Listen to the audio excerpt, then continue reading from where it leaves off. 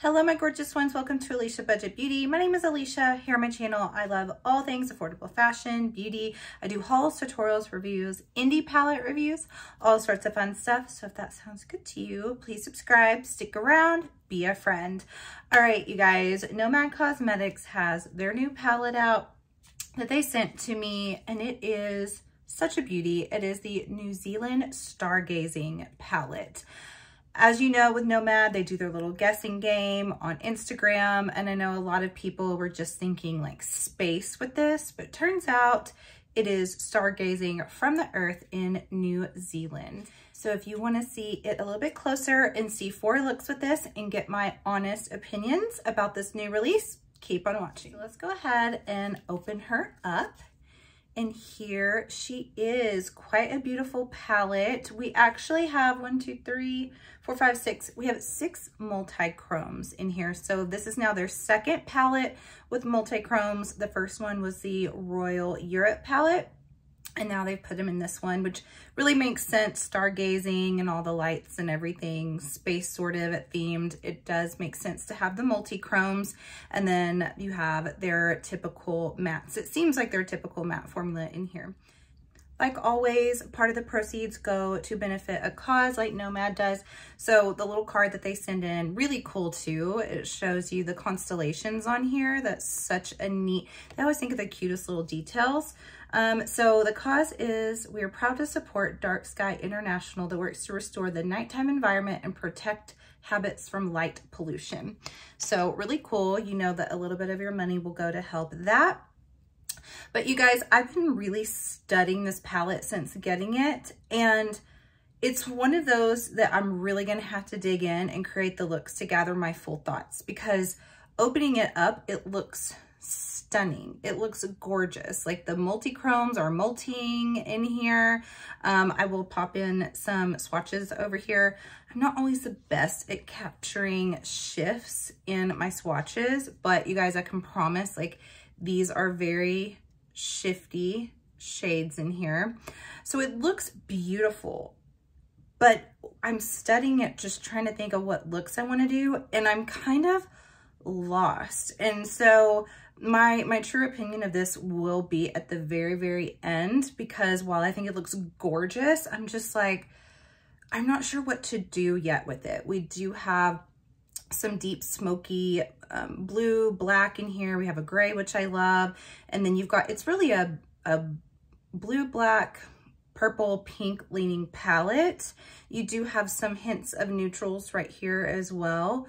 So who knows, when I get to the end of this, I may be like, this is my favorite palette ever. But for right now, I'm just like, what? I'm not sure what to do. I'm not usually stumped like that. So I'm just really going to go in with this and create a look on each eye today and a look on each eye tomorrow to get four total.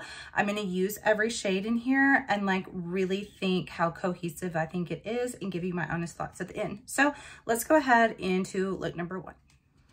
Okay, guys, so first I'm gonna go in with Tonga, Tonga Re, Rero, Tongariro Night Hike. Okay, so what I've decided to do in between my opening and just in this moment, I'm kind of going against my first inclination here because the look that made, there's two looks that make the most sense to me in this palette. And one is just sticking with like the gray, blues, black on one eye, and then like the pinky tones on the other. But because that's so expected, I'm gonna kind of mix and match instead. So I'm gonna do mainly the blue mattes on this eye, but pop in the pink multi-chrome that looks like it goes pink to green. And then on this eye, I'm gonna do the pink and pop in the blue multi-chrome, just so I'm doing something slightly different. Okay, this is interesting because this shade that I'm using and the pan looks like it would be more neutrally taupe, almost like a neutrally brown. but on me, it's definitely pulling cooler tone, just like the Ghost Town USA. Every shade in there pulls really cool tone, like a blue, like even if it looks gray, it pulls kind of a, a blue tone gray on me. Oh, and I'm going in with Carter Observatory here. So I've noticed on myself that my skin just really loves to pull things cool toned that look neutral, like browns sometimes will pull gray leaning, and then grays will pull blue on me, like with the Xenon palette from Natasha Denona. So it's just something that my skin tone does. So for you, this first shade that I put in might turn out more brown, but on me, it's definitely more of a gray. So I'm just taking this out kind of exaggerated here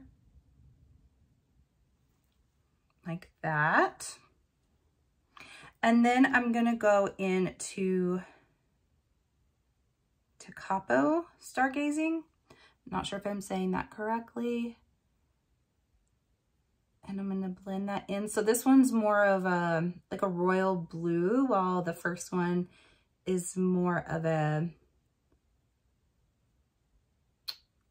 not quite navy. It's not quite that deep, but it's definitely a, a different tone than this one.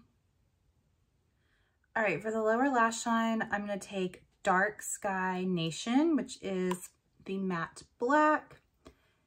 And I'm just gonna put that on the outer, hmm, I think the outer two thirds.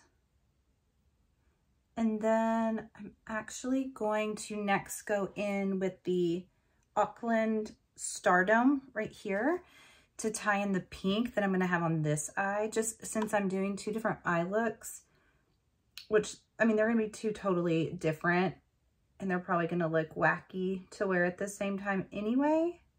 But at least if I'm bringing in a shade from the other eye to the other one, maybe it'll look a little less wacky. I'm really curious how this is going to turn out like I said, I'm not usually this lost when it comes to picking out shades for a look, but it also may be because I'm doing two different looks. If I was just doing one overall, maybe it wouldn't have been so difficult to try to figure it out. But I'm taking one for the team for you guys, just trying to really make sure that I get enough looks in, really try this palette so I can give you guys my honest opinion. Okay, so here's the Auckland, Auckland, what is it? Stardome. It's a really pretty color. It's really a deep, a really, really deep rosy mauve. I do like that. Okay, I feel like I'm looking crazy, but it's just one of those that trust the process, wait till the lashes are on and all that. Okay, so now we're gonna go in, I believe, with Southern Cross. Really beautiful, shifty looking multi-chrome here.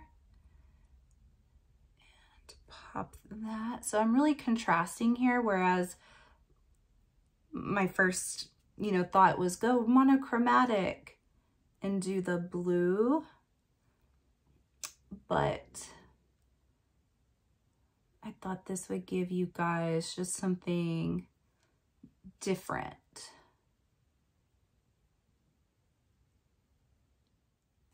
Okay, that is really pretty. You can definitely see a green. It almost turns black, which I was thinking as I was putting it on, like, oh, this, these are so pretty. These type of multi-chromes on a black base. If you were to put down, um, you know, just like a shadow stick that's black and then you put a kind of jewel tone multi-chrome on top, it's really, really pretty. This almost shifts into a black. So maybe it has a, probably has a black base to it. But okay, now we're gonna go in with Aura Australis. And put that on the inner portion of the lid and also with a brush, I'm gonna pop it in the inner corner. It's pretty, it's, it's subtle, but kind of has that like, could you guys hear my pug? uh, I've talked about him before where he stalks me when I'm in here and puts his nose under there and just snorts and sniffs and tries to smell me. And a few of you have been like, let the pug in, but he's too distracting for me. I love him, but he's so noisy.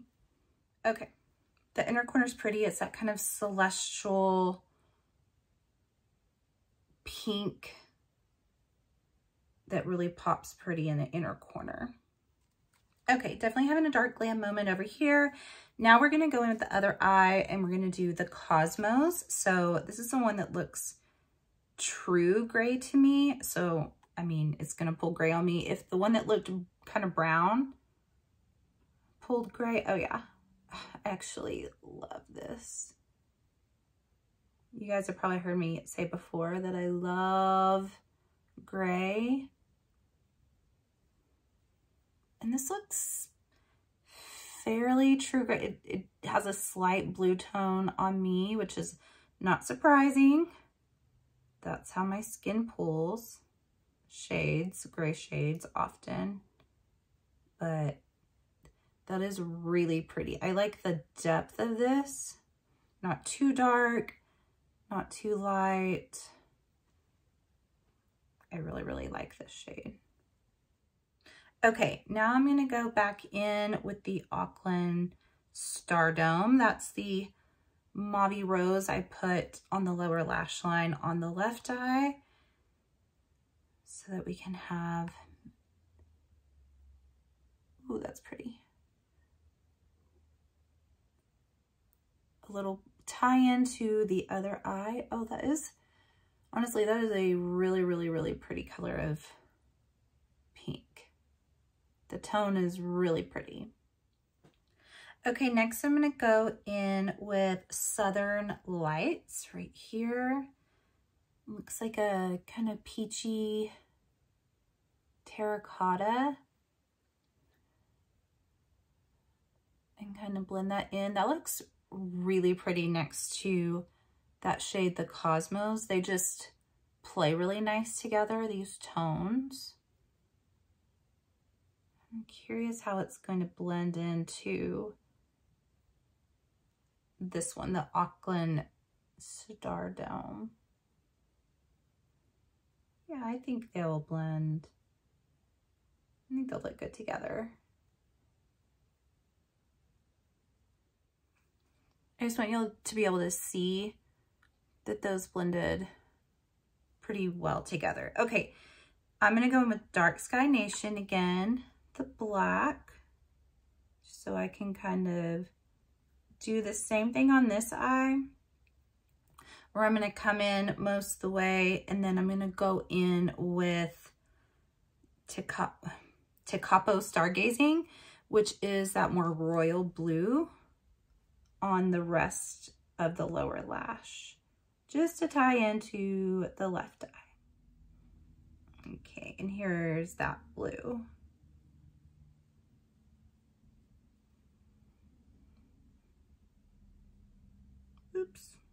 A little too far down there. Actually, I think I'm gonna run that just along the bottom of the black to kind of give it like a midnight blue effect.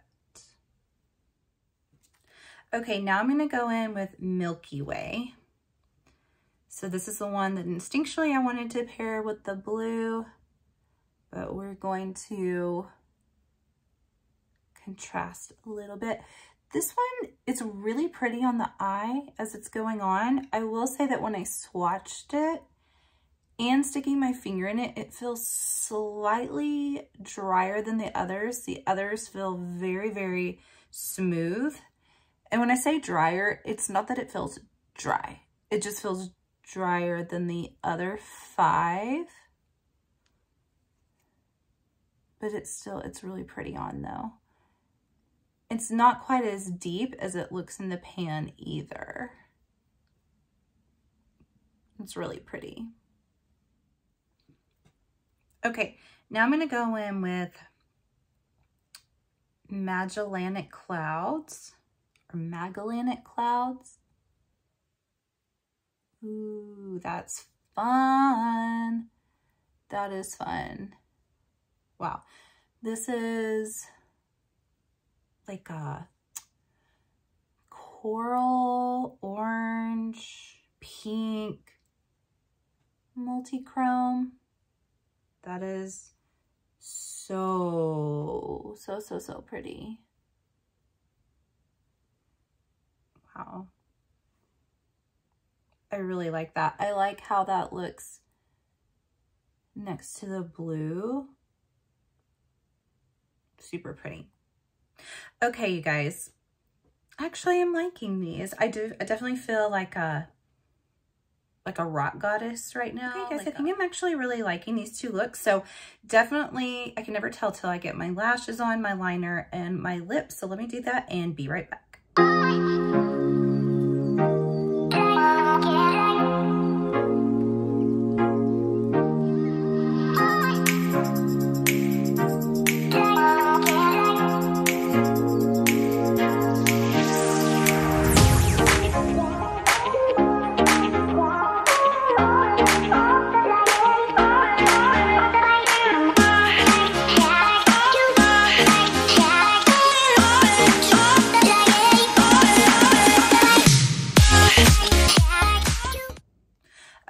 As you guys already saw, I went in the different lighting so I could really show this to you guys just in bright natural light because sometimes I'm just afraid that the lighting in here doesn't quite get it across.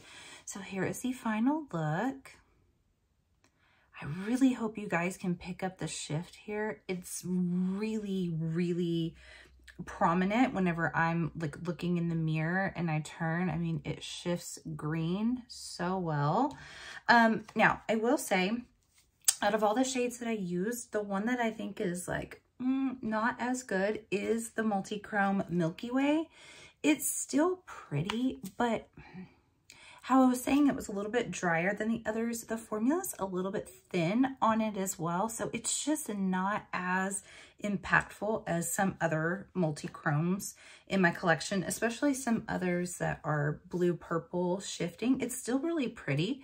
Um, just something to note, but honestly, the Southern Cross here, this one is so pretty. And I love the two inner corners, Aura Australis and Magellanic Clouds. Ooh, I know I'm butchering that. But um, let me also tell you guys what I put for lower lash line. I have the Supernova Multi-Chrome Gel Liners from Mora. So I have the shade Atlas and then the shade Buzz.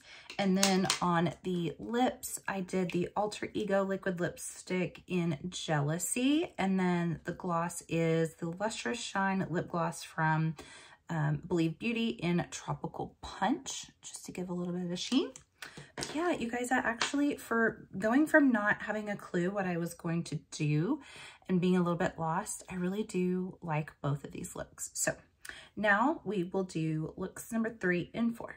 Okay, you guys, day number two, looks number three and four.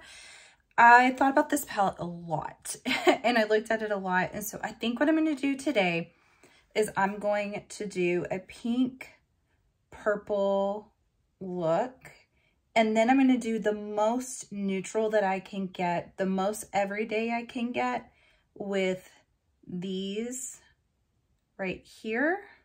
I think this quad is what I'll stick with.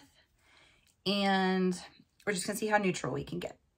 Okay, so I'm going to go in with Aura Kai Kinsey. I say that with such authority. Like, I know that's how you say it. I don't, but okay. Aoraki Mackenzie purple. And I'm going to pack that on the outer edge. And I think as I, as I create the look, I'm just going to start talking about this palette more, about my thoughts about it, instead of saving it all for the end because I have a lot to say. I've really thought hard about this palette. So I'm still obviously using it. And if anything changes at the end, I'll say that. But yesterday, I really ended up loving those looks a lot. I thought they were really, really pretty. They kind of surprised me. Um, you know, just not really knowing exactly what I was going to do. And I really liked it. So who's this palette for? Here's what I'm going to say so far. I think this palette is for people that when you see the color story and you go, oh my gosh, I adore that color story. I know exactly what I would do with it this will be for you because I, I think the issue with this palette is not quality. Like the quality is there. The, the multi-chromes are really nice. That one was not quite as impactful yesterday as I thought it was going to be, but it was also one of those that it looked really pretty on. Um, like it was real shiny. It just wasn't real shifty and the formula felt a little bit thin. But other than that, like if you love multi-chromes and you love this color story straight out the gate, this will be absolutely for you. I have nothing negative to say about the formula. I also think this could be for people who maybe you're missing some of these shades in your collection. Like I will say this Auckland um, Stardome, I'm going to use that one again today. It is a beautiful rosy pink that I'm not sure I had.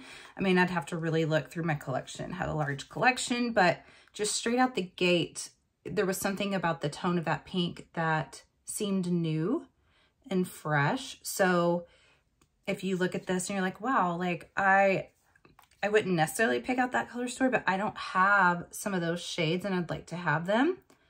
I think this could be for you if you are just a multi-chrome person and you want affordability and you think you could do something with these mattes, whether it's all within this palette or you have to bring in another palette, I think this would also be for you. I mean, I will say Nomad keeps their costs down, especially having multi-chromes now. They didn't use that cop-out excuse that a lot of the brands are using now where they say, oh, but I have all these special shades and all these multi-chromes now, so I'm going to go up $50 in my palettes. Girl, bye. I'm so tired of that, and that'll be in a, a video I have planned, um, getting pretty candid about pricing, um, specifically with indie brands. So, you know, this is an affordable way to try multi-chromes or to add some more to your collection, which I also really appreciate and love. Um, now, if you are someone that when you saw the color story like me and you were like, I have no idea what to do with that. And like I said, I've, I mean, I've got a ton of palettes. You guys have seen me play with hundreds of palettes and I don't often get that stumped. It may be a little, you know, just, uh, I don't want to work for it. And you may want to pass or you could be like me where I thought that, but then going in and play with it, I've really been enjoying my look. So you may want to be stretched. Maybe you need some, um, a little push outside of your box. I personally really enjoy that. I like when a palette challenges me at this point because, you know, I've played with so much. There's so many palettes that are so similar out there. And I do think this is a, a really unique color story. I, I can't dupe this palette in my collection. I mean, maybe I could find a similar shade or the same-ish shade if I look through every single palette and I'd have to put like 15 together. I'm not going to dupe the multi-chromes though in this. Maybe one or two are similar to others, but as far as mattes, it would take me a while to find all the closest dupes. So I do think it is a unique color story. You know, if you're someone that doesn't really like color, this isn't for you. I mean, there are a couple of attempts at some uh, let's see, where am I going here with this? Okay, this one. There are some attempts at some neutrals in here, but they're like neutrals that, you know, like a, a gray blue or this one that's kind of a peach. It's not, you know, a true brown. So definitely not a neutral girls palette. I will say I understand where they were going though with the theming of this. It does make sense the more I looked at it, thought about it. I get the, you know, the way it goes from some lights and some colors when you're stargazing into a deep dark night with the black and the deep blue, the golds and, you know, for the multichromes for the stars. I understand the theming for sure. I also understand where they were trying to go with attempting to put some neutralish shades in here to appease those that need neutrals. I don't know if they're neutral enough or enough neutrals in it to convert neutral lovers for this palette. But I will say, I appreciate that they stuck to a theme because here's the thing that I was thinking about when really thinking about this palette. You know, trying to appease the masses, it's really hard to do that and not be boring. So if you're going to make a palette that is going to appeal to everyone, most likely you're going to get a pretty boring palette. And a palette that we've all seen before. Nothing new, nothing exciting.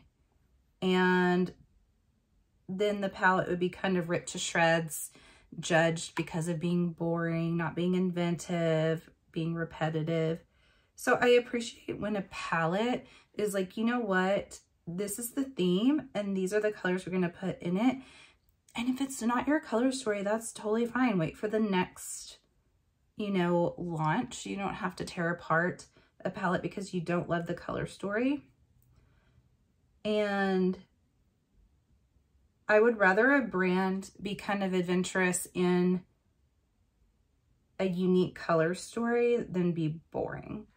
And I do think this is a unique color story. So I didn't want to wait till the very end to just talk about that when I'm not actually putting on my makeup because it would make this video too long.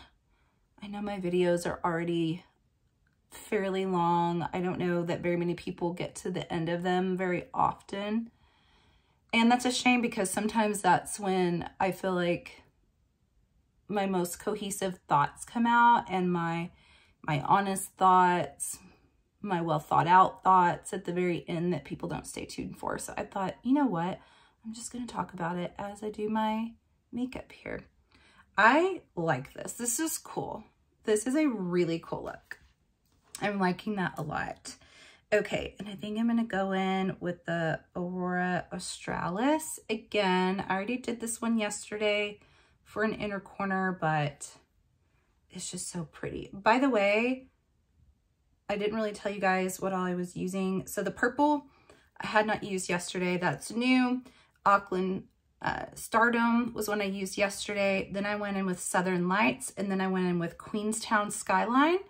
So I've now used every shade in here, um, except for one multi-chrome I'm going to put over here. Then bottom is the Cosmos, and then this Aurora Australis is going in the inner corner. So by the end of this, I will have used every shade and a few of them twice. Oh yeah, actually, I forgot to tell you guys, this multi-chrome is the Carina Nebula, so I hadn't used that one either. Okay, now for this eye, this is going to be our attempt to see how neutral, wearable we can really get this look. So um, I am going in with Southern Lights. So we're not gonna go super, super deep. This is gonna be the deepest shade that we use. And I'm gonna be so tempted to make this deeper, but I'm not going to do it. I'm going to stick to my plan. I really, really like this shade. The thing is about this palette is I love, honestly, every shade in here. I think each one is beautiful. The mattes all perform really, really nicely. These blended beautifully together. Sometimes purples can be patchy. That was not patchy at all. So I love every shade. I'm just still a little bit, do I love every shade together?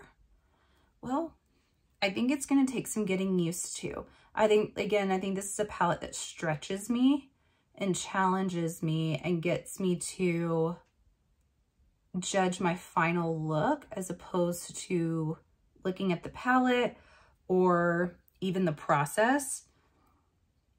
You know, as I'm going, I may be like, oh, I don't know, I don't know. But then the end, I mean, both those looks yesterday I loved. So what's not to love about the palette? But it's a little bit of a trust the process palette, unless you're just someone that looks at this and you're like, yep, I know exactly what I'm doing with that. Then you may have to work at it a little bit and let go of some doubts and control. But and this is Queenstown Skyline, by the way. That I'm going in with here. Not sure that those blend that nicely together. Honestly, they kind of make a muddied shade that I don't love. Let me go back in with the Southern Lights and see if I can... You'd think that those would blend well, but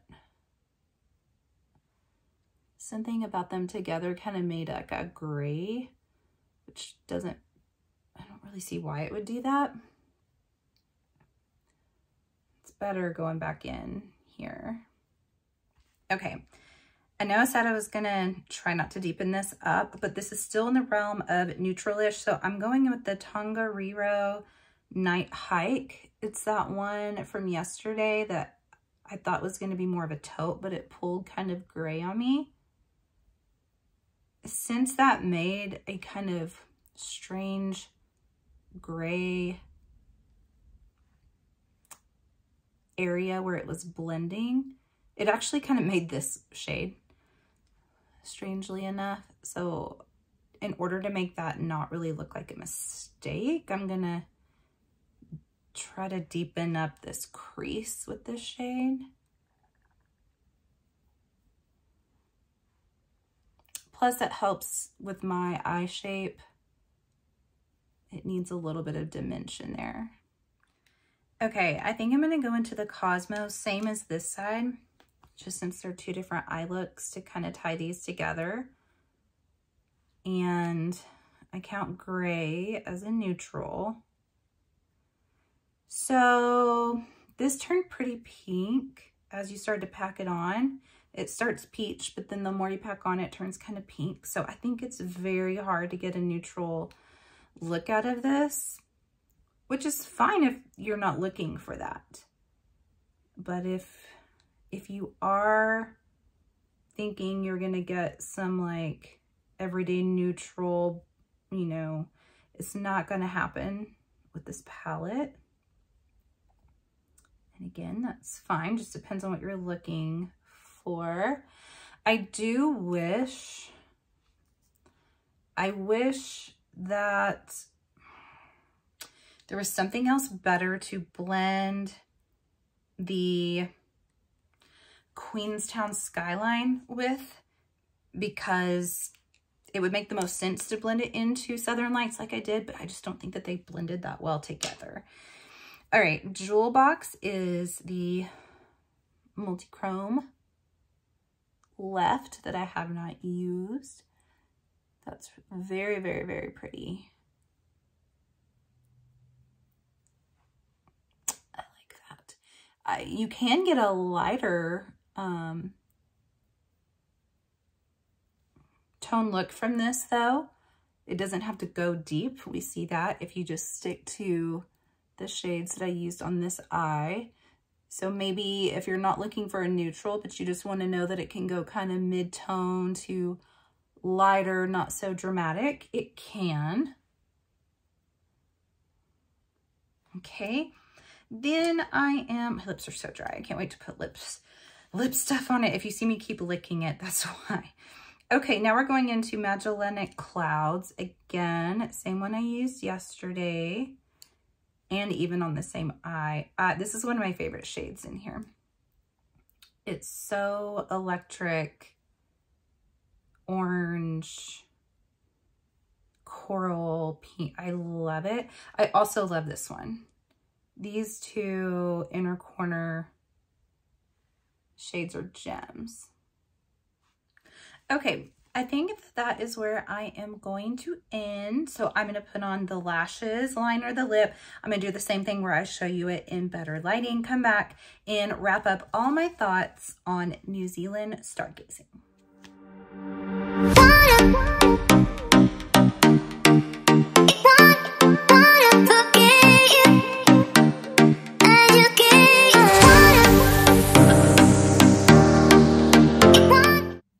Okay, so you saw the look in the other lighting, the natural lighting.